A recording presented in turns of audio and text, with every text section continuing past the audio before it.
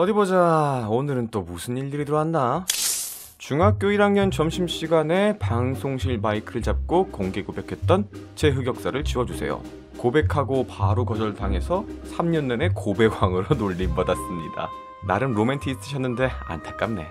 다음 BJ 연상킬러란 아이디로 유튜버 활동을 1년간 했었습니다. 그땐 제가 진짜 잘생긴 줄 알고 매일 이성을 유혹하는 법, 연애 꿀팁 같은 영상을 찍어 올렸는데 30년이 지난 지금도 모태솔로로 살아가고 있습니다. 이런 흑역사 충분히 남길만 하지. 야 철수야 넌 왜 아직도 그런 시덥지 않은 흑역사를 처리하고 있어 이제 우린 그럴 레벨 지났잖아 이런 게 의뢰비는 얼마 안 되지만 그래도 다들 얼마나 지우고 싶겠어. 그리고 난 큰 건 한두 개 하는 것보다 이렇게 짜잘한 거 여러 건 해서 우리 아빠의 흔적을 찾아낼 거야. 야야 쉿 일하는 중엔 개인적인 업무 처리하면 안 되는 거 알잖아 너 아직도 그 마음 안 접었어? 괜찮아. 다들 안 되는 거 알면서 한두 개씩 과거에 흔적 남기고더라. 그리고 우리 엄마 아빠 만나기 전까지만 해도 엄청 유명하고 꿈이 넘치는 사람이었다고 그랬어. 하필 쓰레기 같은 나쁜 놈을 만나서 꿈도 모두 다 버리고 저렇게 마음의 병을 얻게 됐지. 너 사정은 알지만 혹시 네가 아빠랑 엄마를 만났고 둘이 이어지는 걸 막았다고 해봐 그럼 지금 너도 이 세상에 없을걸? 괜찮아. 그래도 난 어딘가에 태어나서 존재하고 있겠지. 별 볼 일 없는 내 삶보단 엄마가 행복했으면 좋겠어. 과거 이동 포털이 열렸습니다. 대원들은 속히 게이트로 오시길 바랍니다. 그래 암튼 오늘도 조심히라고 저녁에 치킨이나 같이 먹자 그래, 치킨 좋지. 아이돌 팬사인회에서 연예인에게 프로포즈를 했다가 경호원에게 저지당하고 9시 뉴스에 보도되었습니다. 제발 정신 나간 저를 막아주세요. 음, 대충 시작하고 30분 정도 지나서 자기가 올라갔었다고. 인상착의는 미미짱 후드를 입고 있었다? 참, 여기 있는 사람 죄다 저 분홍 티셔츠만 입고 있는데. 헐 어 떻게 찾으란 거야? 실례합니다. 아, 미안합니다. 헉, 저 사람이 미미짱인가? 어, 예쁘게 생겼네. 나도 반하겠는데? 어, 저, 저, 저, 저 사람이다. 손에 반지를 들고 있어. 잠깐, 잠깐만요. 이봐요, 이봐요. 잠깐만요. 으, 사람이 너무 많아. 빨리 앞으로 가야 되는데. 잠시만요. 길 좀 비켜주세요.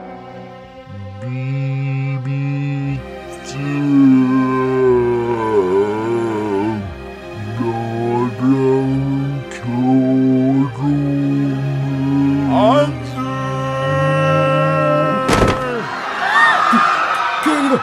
이 사람 당장 끌어내. 아씨, 좀 더 빨리 와서 말렸어야 했는데 그 막았다는 경원이 나였나 보네. 이번 의뢰는 재도전해야겠다.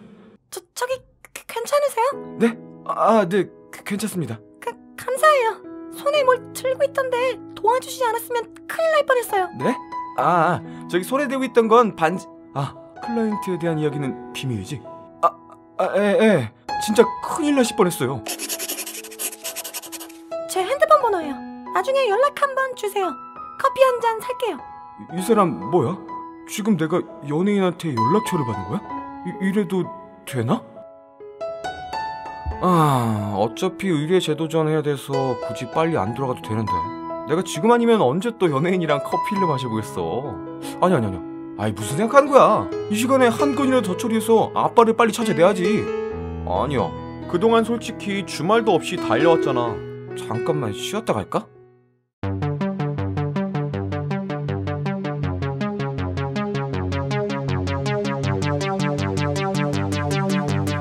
그래, 결심했어.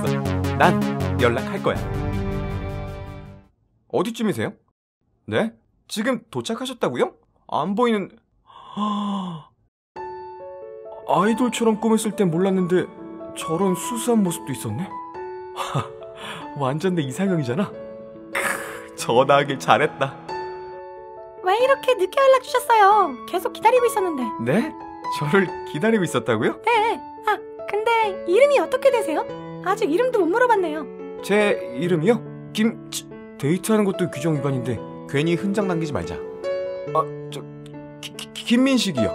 민식아, 미안. 아, 민식 씨? 민식 씨, 커피 마시러 가요. 제가 살게요. 그녀와 난 각기 다른 시간에 살던 사람이었지만 마치 오랫동안 알아온 친구처럼 비슷한 점들이 많았고 대화가 잘 통했다. 하루, 이틀, 그녀와 함께하는 시간이 늘어날수록 현실과 난 더욱 멀어지게 되었고 결국 현실의 모든 것을 뒤로 한 채 과거에 남기로 결심했다. 건강한 남자아이가 나왔습니다. 여보, 여보, 괜찮아? 나는 괜찮아. 여보, 이게 우리 아이야. 아, 진짜 나를 많이 닮았네. 여보, 이제 정해야지. 우리 아이 이름. 우리 아이. 치- 치- 철수 어때? 김철수? 음, 조금 옛날 이름 같긴 한데. 그러자. 철수야, 우리가 행복하게 잘 키워줄게.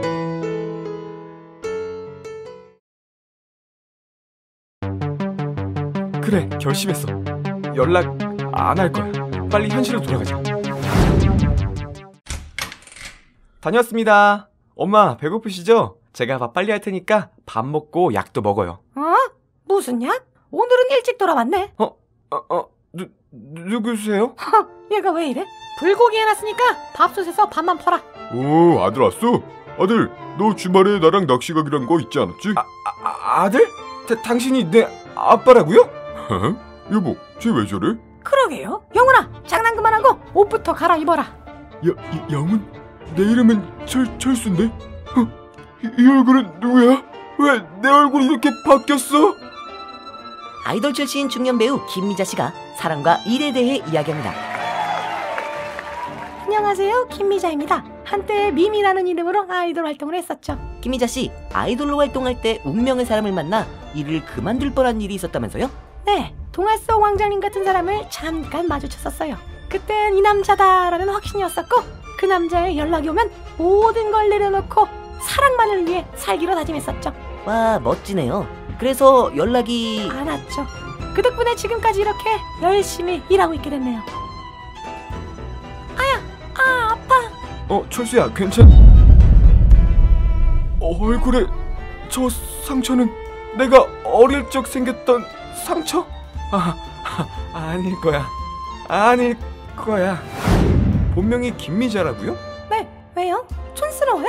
아, 아니요. 예뻐서요. 엄마랑 이름이 똑같네. 이때 유행하던 이름이었나? 그, 그때 의심을 했었어야 했는데 그럼 내가 그토록 찾아 헤매던 아빠가 바로 나였어?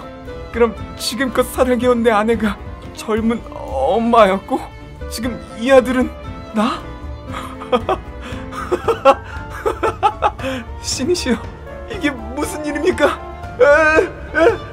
아빠